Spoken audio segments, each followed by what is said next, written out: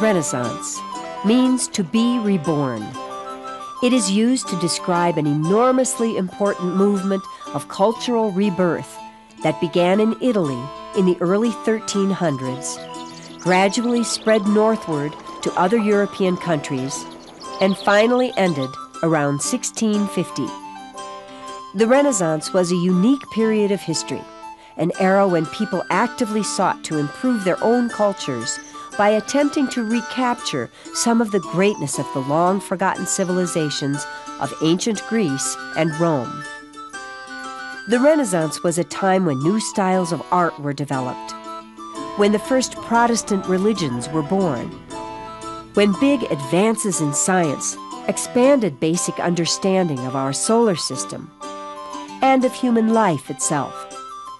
The Renaissance was also the time when books first became widely available and was when the first great voyages of world exploration began.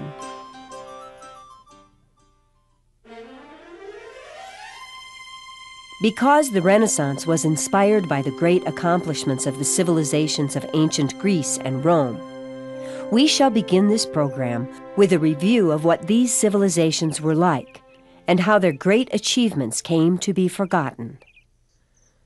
The highly civilized people who lived in ancient Greece, hundreds of years before the birth of Christ, produced marvelous works of art and architecture, and made lasting contributions to mathematics, science, government, and literature.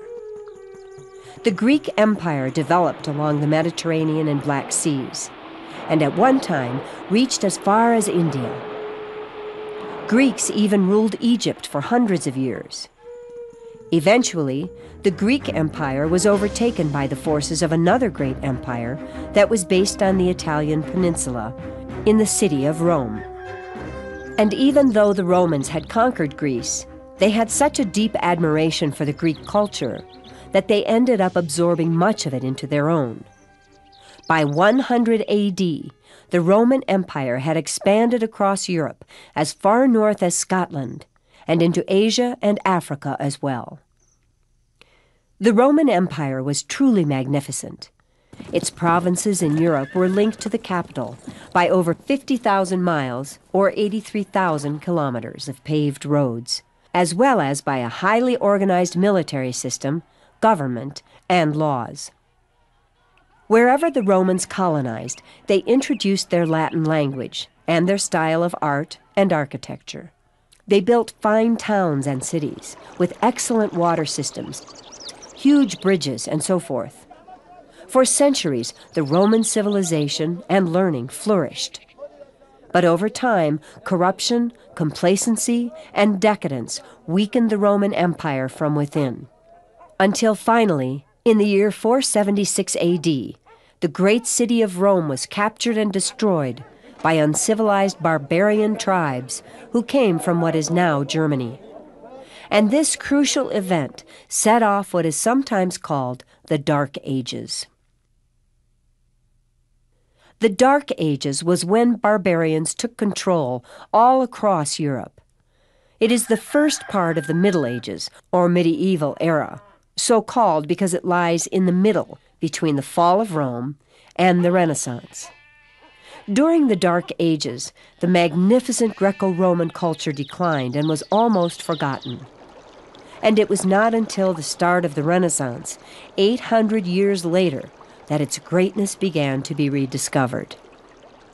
To glimpse the process of cultural decline that occurred during the Dark Ages, it is interesting to look at what happened when Roman troops pulled out of their northernmost province of Britannia in order to defend their besieged capital far away to the south. With the land of Britain undefended, members of four different barbarian tribes crossed the North Sea and settled there. They built houses in the traditional architectural styles with which they were familiar. Their new villages were constructed using wood and thatch and were quite primitive when compared to the Roman towns of stone, brick, and tile that came before them. That was because the engineering and mathematics skills that had made it possible for the Romans to build elaborate buildings Complex water and drainage systems, bridges, and so forth did not exist among the uneducated barbarians. And because the barbarians lacked many artistic skills possessed by the Romans as well, the artwork with which they adorned their buildings appeared fairly primitive by comparison. But it is important to note that although learning significantly declined during the Dark Ages, the Christian religion that the barbarians had acquired from Roman Catholic priests took hold across most of Europe. The church ran a few schools, and monks managed to transcribe some of the crumbling books that had survived from the days of ancient Greece and Rome, so that the valuable knowledge they contained would not be lost to mankind forever. Most of these ancient texts would later be translated and reprinted during the Renaissance. The period of history that followed the Dark Ages, around the year 1100, is often called the High Middle Ages. This was a far more inspired era than the Dark Ages. And it is important to realize that it was people who had been influenced by the ideas and events of this period that founded the Renaissance. The High Middle Ages was the time when most of Europe's finest cathedrals and castles were built. It was also a time when the Roman Catholic Church exerted tremendous power over both kings and common folk alike. By the 1200s, more than 10% of the people of Western Europe led religious lives as Catholic monks, nuns, or priests. Back then, nearly everyone believed that, in and of itself, life on earth was of little value. Life was seen merely as a doorway leading either to the eternal pleasure of heaven or to the eternal misery of hell. Medieval artwork strongly reinforced these beliefs, taught Bible stories, and acted to inspire a deep sense of religious devotion among the mostly illiterate population of Europe. And perhaps it was because so much of the people's attention was focused on their inner spiritual lives at this time that much less energy was devoted to exploring and understanding the physical world that surrounded them. It was here in northern Italy that the first noticeable changes in the medieval way of doing things started to occur right around the dawn of the 14th century. This was the beginning of the Renaissance. During the medieval era, the study of theology, the study of God, was the most important branch of learning. But during the Renaissance, people began to pay more attention to earthly life, and the study of humanity, or humanism, became a major focus of scholarly attention.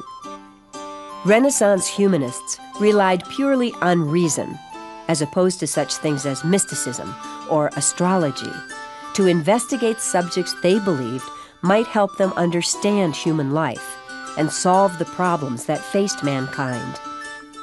To do this, they actively studied the civilizations of ancient Greece and Rome because they believed that these civilizations had excelled in humanistic subjects. They dug through ruins for anything that remained of the long forgotten classical cultures and marveled at the fabulous works of art and architecture they discovered. And Renaissance humanists traveled to distant monasteries in search of ancient books, for they believed that the wisdom of the past would provide the insights they needed to better understand mankind, the world, and the universe. When the Renaissance began in the early 1300s, the northern part of the Italian peninsula was dotted with a number of city states. A city state being a small nation ruled by a city. One of the best known city states was Venice, which had grown exceedingly wealthy and powerful due to its trade links with Asia. Another important city state was Florence. It was an important financial center that became a center for Renaissance literature and art as well. During the Renaissance, except for the papal states that were ruled by the Pope, the Italian city states were ruled by upper class families. Florence, for example, came to be ruled by the Medici family, owners of the largest banking empire in Europe. The Medicis and other powerful families like them used some of their enormous wealth to encourage and support scholars, writers, scientists, and artists. And it was thanks to patrons like them that Renaissance learning and art was able to truly flourish in Italy. During the Renaissance, artists developed many individualistic styles of expression compared to the much more uniform styles developed during the medieval era. And they worked at creating more believable representations than the medieval artists had produced. For example, the people depicted in this medieval stained glass look unrealistic and flat, whereas the figure in this Renaissance stained glass window looks much more lifelike, in part because it possesses the illusion of having a third dimension, depth, due to the use of shading. Renaissance artists also discovered how to use perspective to create the illusion of distance. This was accomplished by progressively decreasing the size of objects, making them appear to recede in space, thus duplicating on a flat surface how humans naturally see things. When perspective first came into use in Renaissance art, it had a captivating, almost magical effect on people. Nearly as magical as the first photographs were when they were introduced 500 years later. One other important difference between Renaissance and medieval art was that Renaissance artists preferred to glorify the human body, as the ancient Greeks and Romans had done. In contrast, during medieval times, the body was generally considered to be an obstacle to spiritual progress and not something worthy of glorification. But renewed interest in accurately portraying the human body in art during the Renaissance had an important effect on science as well, because it helped inspire the first in depth investigation into the structure of the human body since the days of ancient Rome. During medieval times, cutting open dead human bodies, even for purposes of medical research, was not an acceptable practice. Consequently, medieval understanding of human anatomy was limited and often inaccurate. But a Belgian doctor named Andreas Vesalius, considered to be the father of modern anatomy, boldly struck out against old medieval attitudes. Vesalius collected corpses from gallows and graveyards and used knives and other tools to perform dissections in order to make detailed observations of all aspects of the body's structure. His thorough studies were assembled into a famous illustrated book that inspired many others to follow in his footsteps. And today, the study of human anatomy is the basis of modern medicine.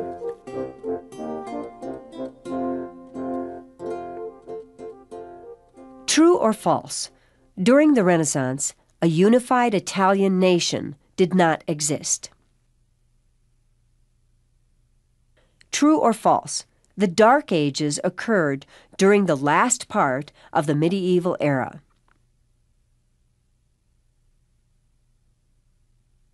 True or false? The Renaissance began in northern Spain.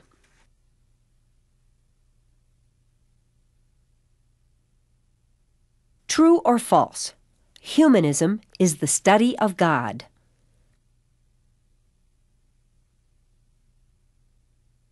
True or false? Perspective was rarely used in medieval art.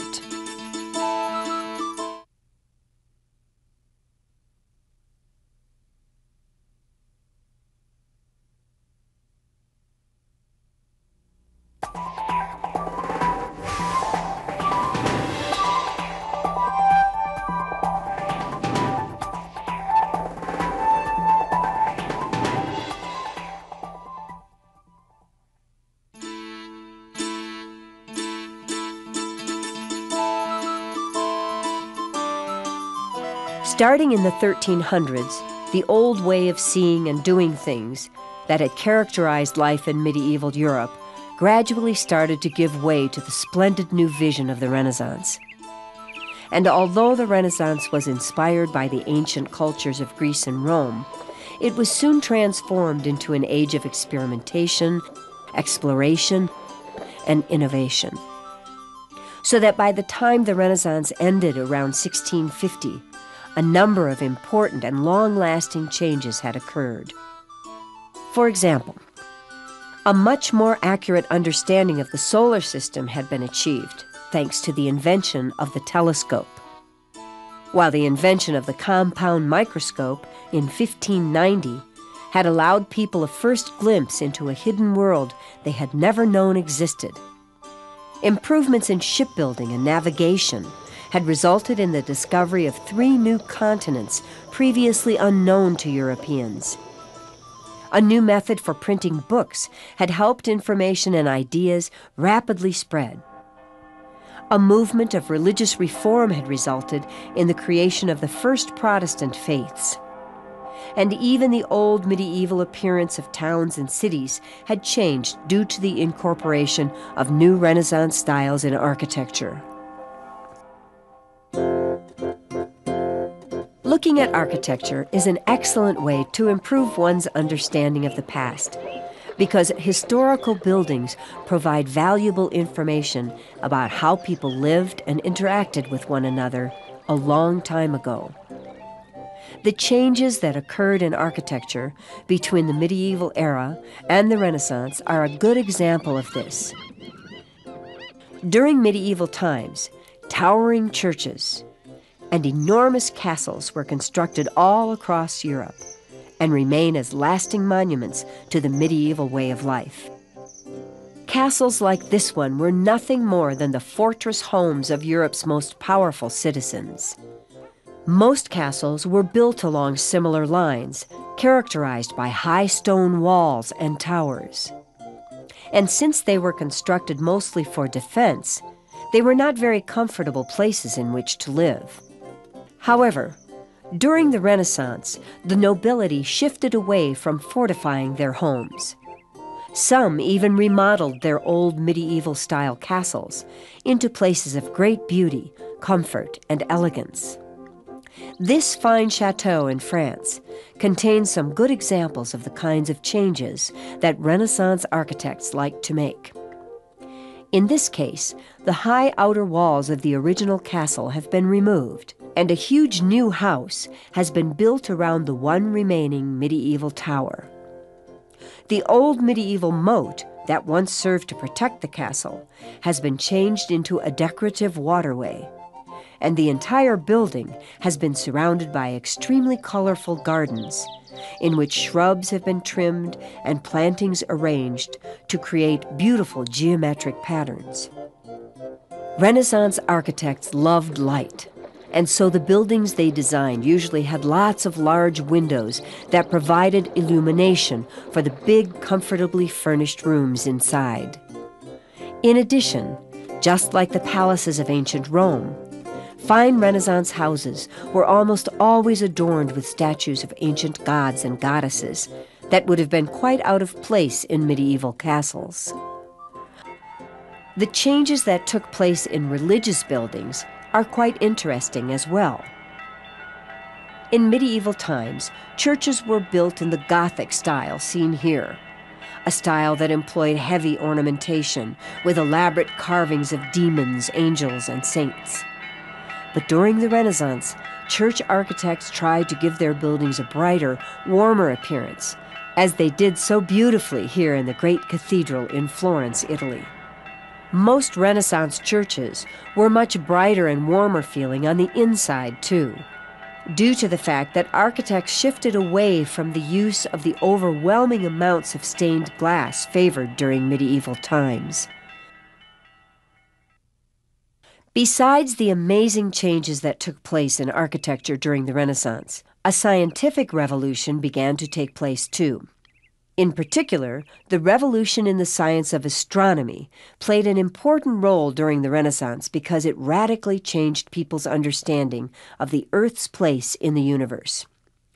Medieval people believed that the Earth never moved and that it was at the center of the universe, ringed first by the moon and planets, then the stars, and beyond that, heaven, the dwelling place of God and this was the official version promoted by the Catholic Church as well.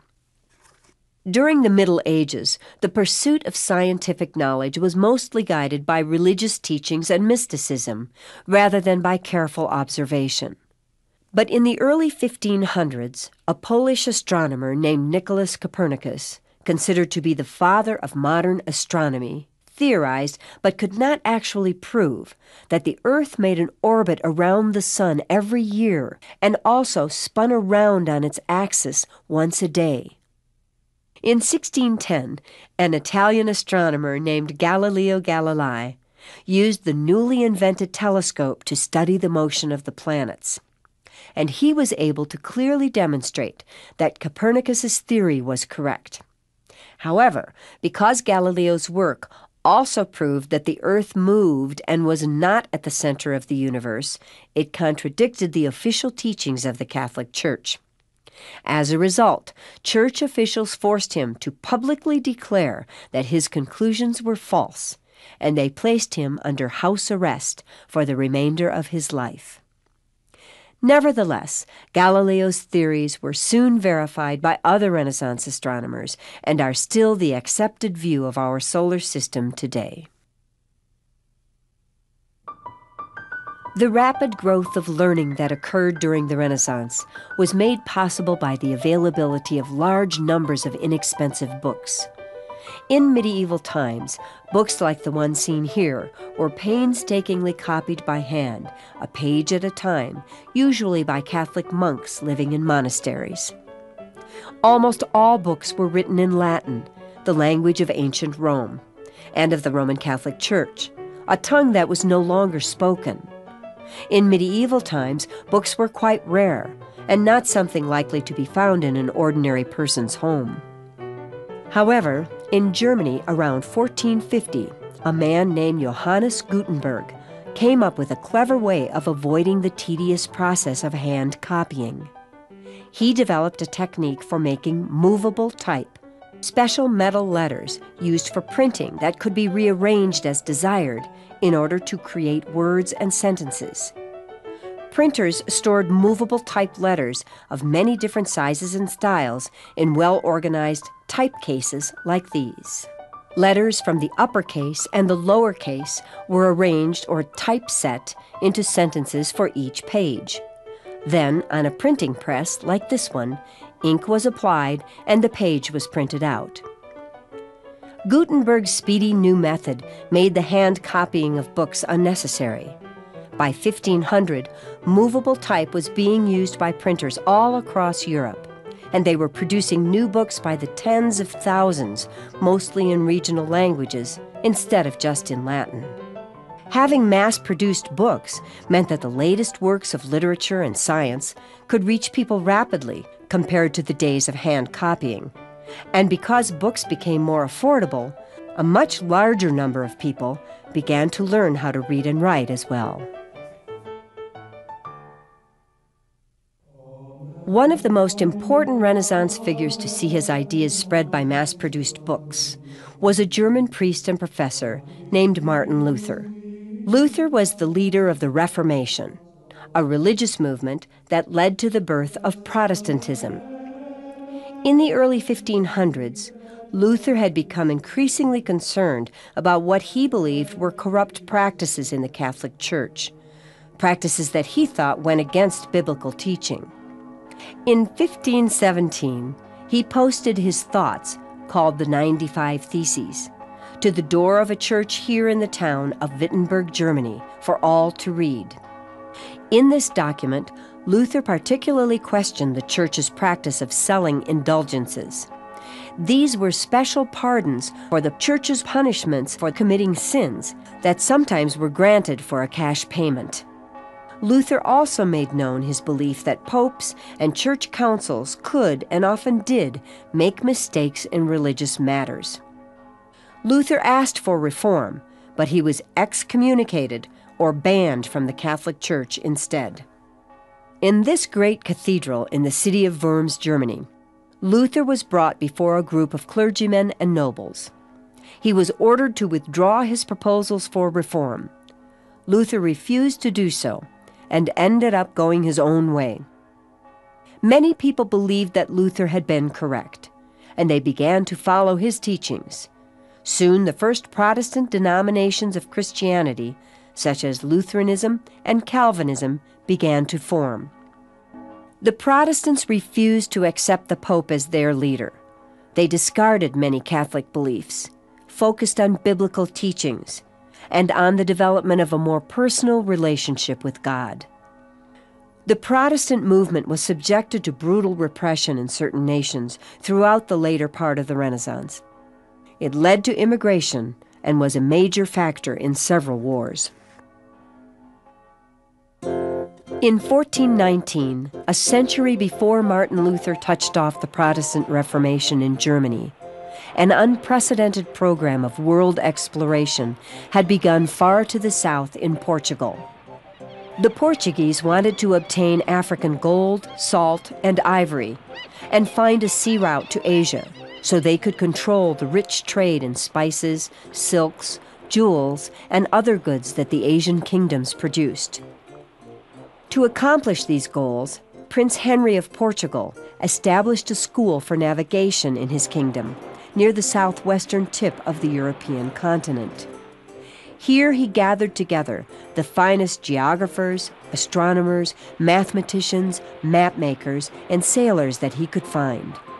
They collected information about the tides, ocean currents, the winds, and the stars.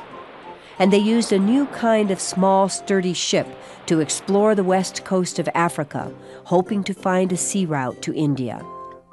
Before he died in 1460, Prince Henry the Navigator had sent out over 50 expeditions to explore the world.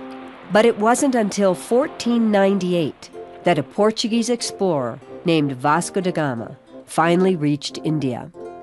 By then, another explorer named Christopher Columbus, who sailed under the flag of Spain, was busy preparing to make a third voyage across the Atlantic Ocean. On his first voyage west in 1492, Columbus thought he had landed in India. Instead, he had actually discovered an entire new world, the continents of North and South America that were unknown to Europeans at that time. And it was through their quest for trade and wealth that European explorers like Columbus established colonies in many far flung lands and ended up spreading Renaissance culture, religious ideas, and inventions around the world.